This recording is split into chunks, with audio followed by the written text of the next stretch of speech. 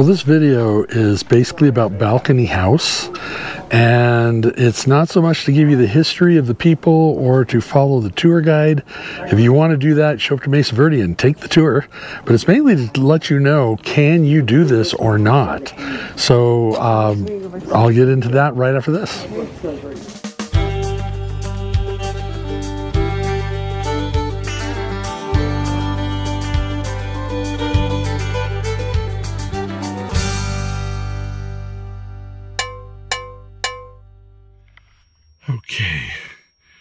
Mesa Verde.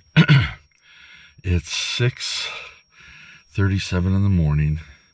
It's only like 46 degrees out, and I have a nine o'clock tour of the balcony house. And basically, I heard it takes a good hour, at least an hour, to get up there. So I am uh, gonna go ahead and pull out now. I'd rather get there early and hang out for a while than to be rushing and trying to be and being late because you don't rush up roads you're not familiar with. Anyways, that's about it. So next time uh, you see me, we'll be at the balcony house meeting area. Here we go. Well, word to the wise. Make sure that you get a copy, a screenshot of your ticket uh, I managed to finally get one bar of um, one bar of cell that I was able to finally do it after I got up on the top of the hill. Not a great spot to blow that. So, anyways, uh, yeah, it took almost an hour, just shy an hour, and I tried to keep the speed limit all the way to test it out. So, yeah, expect an hour from the visitor center all the way up to the balcony house. And the ranger just showed up. We're going to get started here in just a minute.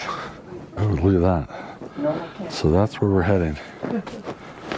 This video is actually designed to determine how difficult this balcony house tour is and if it's something you might want to consider. What you're going to be seeing here is we start out by going down 130 steps down a metal staircase. We climb up a 32 foot tall ladder. We have two small ladders and 12 uneven stone steps within the site. To leave, you've got to crawl through an 18 inch wide by 12 foot long tunnel. You have to ascend a 60 foot open cliff face with uneven stone steps and two 17 foot ladders to exit. Let's go.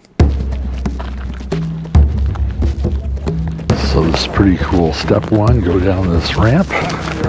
There'll be some metal stairs. and wait till you see what's coming up next.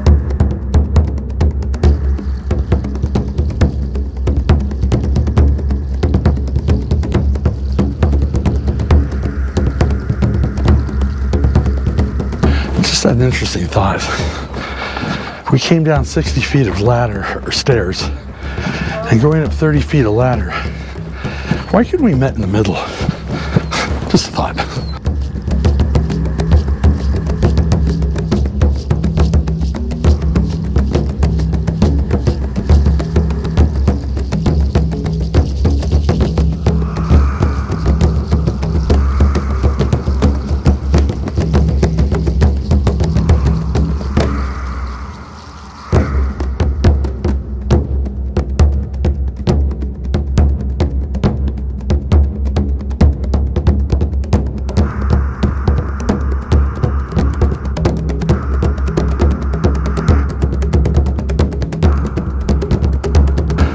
Heavy breathing.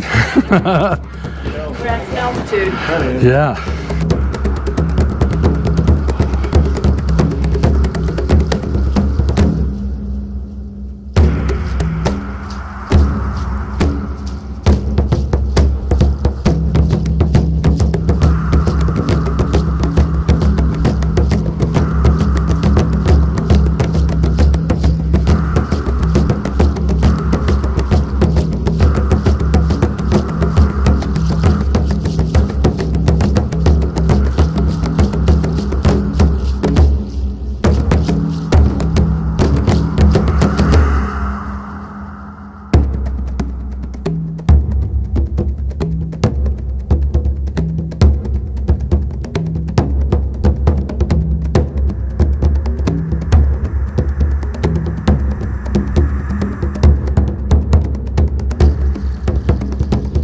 We're on the exit tunnel side.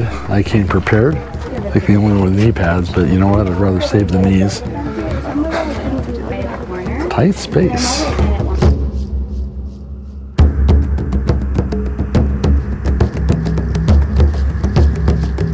Made it through. Okay, now a couple more ladders and cliffside climbing. Nice.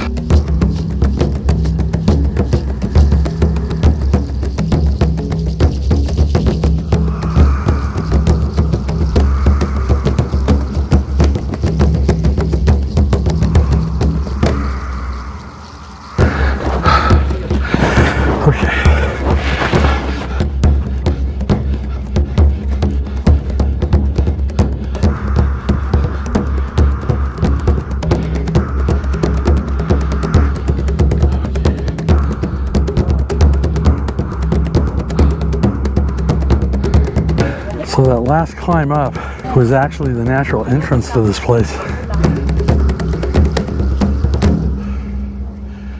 Any other questions? So this was the natural entrance in for them. Yeah, there's actually down kind of over, kind of more towards the ladders, but not exactly. Got it. There are some toeholds and handholds there. I'm glad you put a ladder in. So much. Yeah. I don't have to worry about belaying you all out. Yeah. An additional word to the wise if you're going to do balcony house, park in the parking right as you enter balcony house. Don't drive down to the gathering area.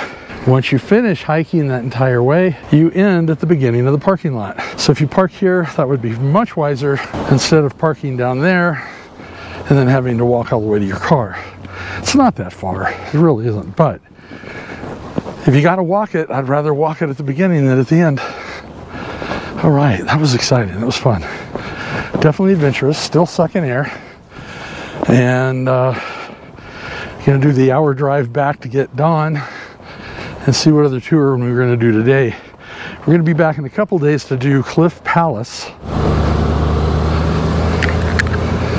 By the way, there are pit toilets and a water fill station up here. Definitely take plenty of water. You are at a high altitude. And she basically said, the ranger told us that the number one emergency they have is people dehydrating. And if you're having trouble with altitude, that means you need more water on top of it. So bring plenty of water.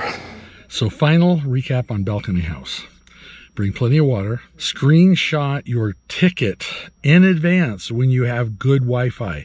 If you do have sensitive knees, bring knee pads. No one is going to judge you. Have a good breakfast before you get here and make sure you got plenty of water. I have my CamelBak. That worked out great.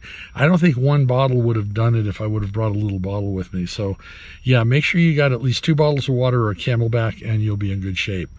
All right. Also, if you're claustrophobic, afraid of heights or you have trouble with ladders, um, just watch the video over and over again and live vicariously through me. Okay, so uh, now that you've seen it, uh, hopefully you can make a educated decision on whether or not this tour is for you. Yes, it was strenuous. Yes, uh, my legs feel rubbery, and it was worth it. It really was. Uh, a few things that you probably noticed as I went through this: wearing knee pads really helped. No one's going to judge you. In fact, they're going to envy you for having brought them along. So throw some knee pads in your backpack bring plenty of water and make sure you get those tickets two weeks in advance. All right so make sure you hit that subscription button. Uh, hit the notification bell that you know when we post every sunday at 2 thumbs up for good measure and we will see you on the road. Sláinte.